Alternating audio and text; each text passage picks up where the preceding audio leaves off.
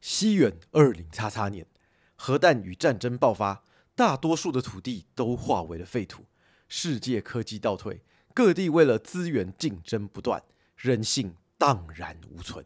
而就在此时，一个救世主诞生了。哎，导播，错棚错棚了！而就在此时，一个解救世界、找寻真相的方舟出现。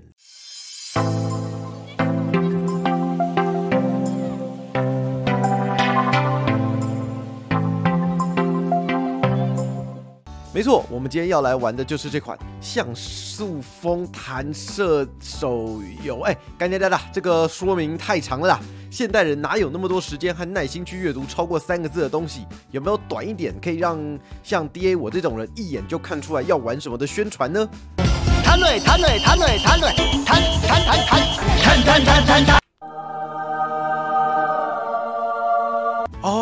我懂了，我懂了。这游戏呢，就是运用物理学和数学探讨弹道和角度来攻击对手的流浪方舟啊。故事呢，就和前面讲的差不多。有一天呢，开发的网络产生了自主意识浮点，想要对创造主的人类发动攻击。退无可退的人们呢，开始使用核武器，要和地球跟浮点同归于尽，却在浮点的阻碍下失败。而核爆也将世界带入了黑暗期。嗯，这个剧本怎么看都应该是浮点想要跟人类同归于尽，人类勉强阻止，落得两败俱伤才对吧？你没事炸自己老家干嘛？吃饱了撑着吗？嗯，不过纵观历史，好像也没错啦，是有这种断粮战术。剩下的人类则有部分靠着辐射获得了异能，持续与浮点留下的军团奋战，并建造起了方舟，追寻世界的真相。而我们的故事也就在此正式开始。游戏的核心呢，会使用各个超凡者，也就是你看到的这些英雄们啊，在战场上不断的弹泪弹泪，撞击的时候会根据自己的属性能力发挥效果，弹来弹去的状态呢也会受到影响。由于有着与古代神祇们类似的能力，他们也因此被冠上类似的名字。这些超凡者呢，也根据特性，大致上可以分成，比如说 L E 伤害啦、辅助啊、坦克或者是回血之类的走向。职业也分成了像是冲击啊、能量支援等等，撞在队友身上产生的效果也完全不同。所以说组队啊是非常重要的，用得好可以产生一加一大于二的效果。哎，让我们来简单瞧瞧一下。基本上前期来讲，后羿和嫦娥这组中国神话的英雄就相当的方便。最主要的原因是什么呢？啊，因为啊七天活动中登入就送啊，而且这两个人的主动技能都是自动发动型，和你的技术无关。哎，我最喜欢就是这种了。我是说啊，玩游戏嘛，你有的时候可能在通勤啊、路上，对不对？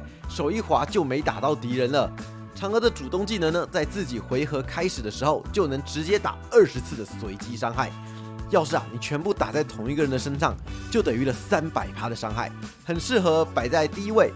一出场就先射残对面一个，后续战场也舒服很多。当然啦。有些人也可以摆在第五位，也是 OK 的。后羿呢比较特别的，就是只要对方受到撞击，累积到一定的次数，就能在任何时候我方回合结束时追加伤害。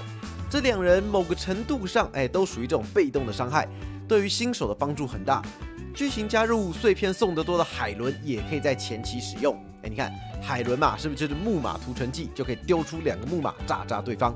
等到中期再考虑养养其他的角色吧。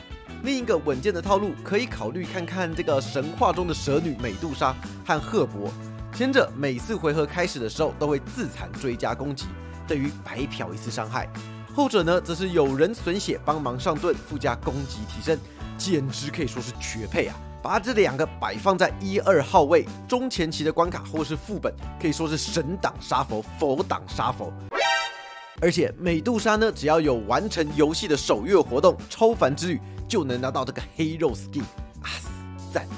实际上呢，队伍的组成根据关卡的性质也会不同，像是副本里面的极限伤害，回合数短，要求瞬间的爆发，就像潘朵拉拉或者阿瑞斯这种杀敌一万自损五千的就很合适，反正也没有跟你慢慢撸，或者矿坑死洞这种小场地，拉一进场就会砸下一发核弹，给出大量的 A O E 伤害跟位移。后续呢，还能再靠辐射的底 buff 进一步追加攻击，非常的方便。奥丁算是我觉得很适合摆在这个五号位的角色，他会累积前面的伤害转换成头毛，虽然会有烧血的副作用，但可以靠回复或者护盾类的支援。像咱们区域限定的赠送 SSR 妈祖就很适合，一个全职奶妈，赋予队友吸血的能力，让你不怕撞的兴起，一不小心就领了便当盒饭。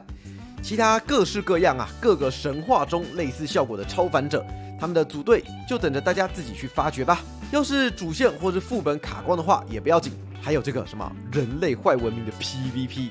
哎，等等，我知道你们是不是要说什么啊？PVP 呀，就是看谁氪得多，谁的英雄抽得猛就会赢。哎，确实，哎，只对了一半。在全面征战，也就是常见的 PVP 中，的确是这个样子。But 流浪方舟呢，有个比较特别的 PVP，叫做十二圣。系统会给你多次的选择机会，你就可以挑选自己的流派。这个 PVP 模式里面啊，所有人的英雄等级战力全都一模模一样样，得靠不同的打法和智慧的思考才能脱颖而出，很适合我们北投战略家的头脑。除了推动关卡外，游戏中呢也有许多的额外要素，像是竞技场这种大家熟知的内容。花园则可以孵化宠物，可以养这些看起来傻逼傻逼又很可爱的谜样生物，在庭园里面晃来晃去。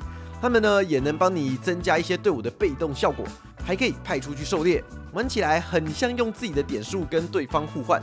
呃，没什么太多的技巧啦，但意外很舒压。副本还有像是这个爬塔，比较特别的是爬塔呢可以 auto 让它自己跑。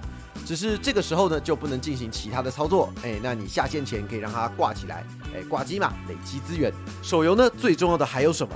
哎，你说对了，那就是你们都很熟的抽卡抽起来啊！周末的里面，老板娘会帮你射出子弹，根据颜色就知道有什么等级的超凡者。哎，大家老熟啦，你看看，像我们这一波有没有金色的？哎呦，皇帝呀，史记里面的五帝之首。游戏中呢，则是坚强的护盾大师，可以帮这个撞到的队友补个护盾起来。然后，我们再看看还有什么啊？哎，嫦娥二号机可以呀，对不对？这个游戏呢，重复的超凡者就会化为碎片，往上提升可以拉高基础数值，升级专属技能，还有装备的插草栏增加。由于游戏资源呢给的很大方，只要方向正确，两三个月要升满一只 SSR 的超凡者，也没有说特别的难。好了，看完以上这些，有没有心动动啊？哎，心动不如马上行动，是不是？在这个世界末日里面，今天六月十三，游戏就上架了。你只要打开 Apple Store 或者是 Google Play，搜寻《流浪方舟》，就可以下载，免费妈祖直接送哦。你就可以跟着妈祖一起开始快乐弹射。你是不是欠天钱，以后不想抽 SSR 了？我是说，在这个废土世界里面，快乐弹射，撞击敌人，一起弹弹弹。啊，我是爹，感谢你的收看，我们下次见喽！优惠码可以参考画面之上或是下方的资讯栏，希望可以在游戏中和你们一起谈累谈累，拜拜。